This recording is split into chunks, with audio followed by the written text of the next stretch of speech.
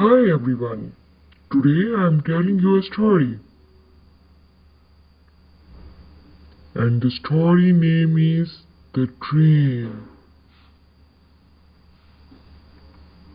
Beef couldn't sleep. Why Beef couldn't sleep? Because Dad told her a story.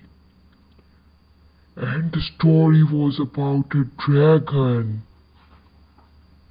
Beef dreamed about the dragon.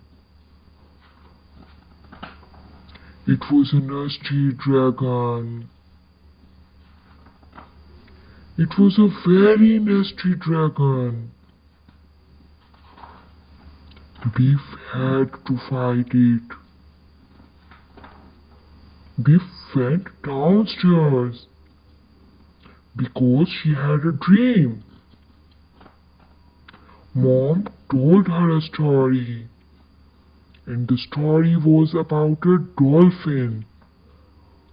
Biff dreamed about a dolphin. Thanks for watching this video.